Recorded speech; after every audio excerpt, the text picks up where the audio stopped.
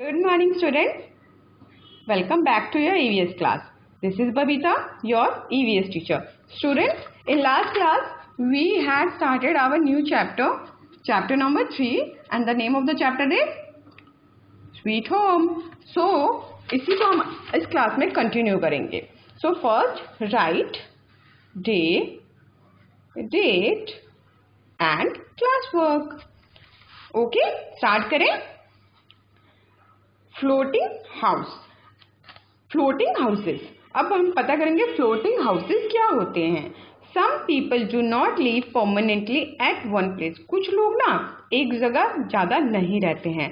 They keep moving from one place to another so वो एक जगह से दूसरी जगह घूमते रहते हैं, घूमते रहते हैं। They live in temporary houses so वो एक एक जगह से दूसरी जगह घूमते रहते हैं क्योंकि उनको घूमना पसंद है। तो वो क्या करते हैं? वो टेम्प्रोरी हाउस में रहते हैं।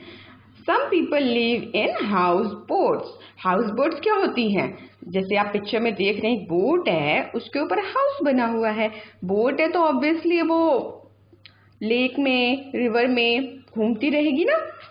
तो they can be moved from one place to another on water so वो आसानी से एक जगह से दूसरे जगह वाटर के थ्रू जा सकते हैं. They are mostly found in Kashmir and Kerala so ये हाउस बोट्स कहाँ मिलती हैं? कश्मीर और केरला में. Houses on wheels nomads do not live permanently at one place.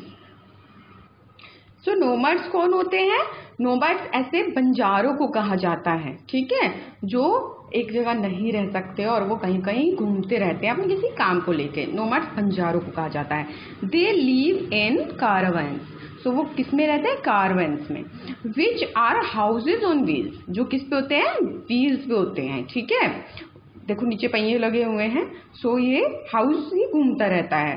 They can be pulled by horses और vans and taken anywhere so ये house किसके द्वारा पुल किया जाता है?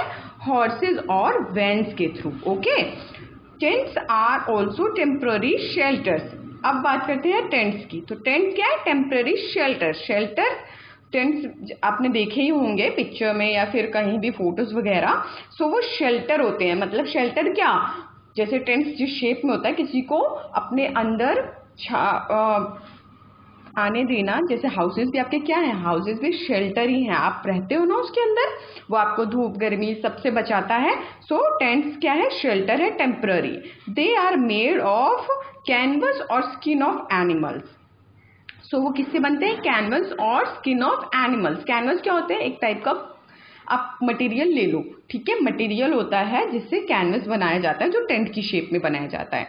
They can be fix and folded is folded easily so वो fix भी आसानी से हो जाता है और फोल्ड भी हो जाता है। They are mostly use in camps और माउंटेन्स एंड डेजर्ट सो ये कहाँ कहाँ यूज़ होता है? कैंप्स में माउंटेन्स में और डेजर्ट्स में। सो so, अब मूवीज़ वगैरह में देखते हो ना कि लोग घूमने जाते हैं माउंटेन्स पे या फिर जंगल्स में, वो किसमें रहते हैं? वो टेंट्स में रहते हैं, ठीक है? वो कहीं भी अपना टेंट लगा लेते हैं फिक्स कर लेते हैं और जब उनको फिर ट्रैवल के लिए आगे बढ़ना होता है, फिर वो उसको फोल्ड कर लेते हैं। Okay students